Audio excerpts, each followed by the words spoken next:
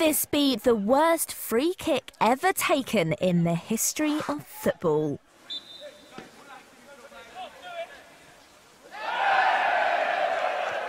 Not only did Sam Corcoran miss his chance to score for his team Chelmsford, the player gave the ball away, handing his opposition the advantage and leaving them to score.